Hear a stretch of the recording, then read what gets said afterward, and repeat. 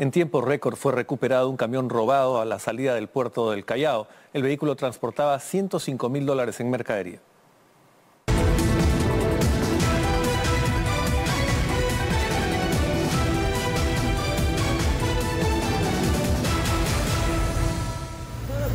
Nos encontramos en el distrito de Los Olivos, en el interior de una cochera, de los cuales intervenimos a un vehículo de la placa de rodaje Colombia 4 América 721, marca internacional.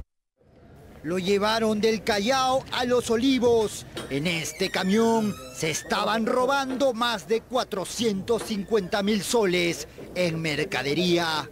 Esta es una muestra del total de de la mercadería que se ha podido recuperar, eh, consistente en lápices de una marca reconocida y que nuestro personal de peritos de criminalística se encuentra en este momento recabando todos los huellas, indicios que han dejado los delincuentes.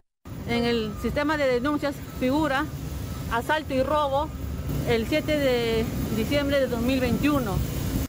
La policía de la DIPROVE recuperó este camión en menos de dos horas. El vehículo pesado fue robado cuando salía del puerto del Callao con la mercadería.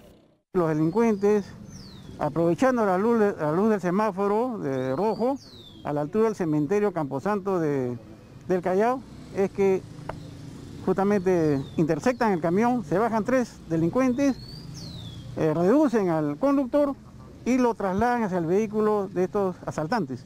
Y uno de los delincuentes es que es el que se lleva el camión, precisamente que está detenido.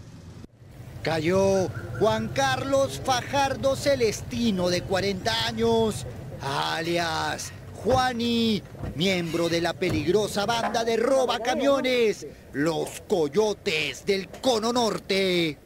Presenta antecedentes por hurto y robo.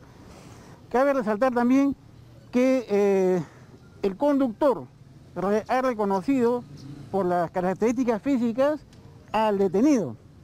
Los coyotes se estaban llevando el camión valorizado en 80 mil dólares y 105 mil dólares en lápices. Todo fue recuperado.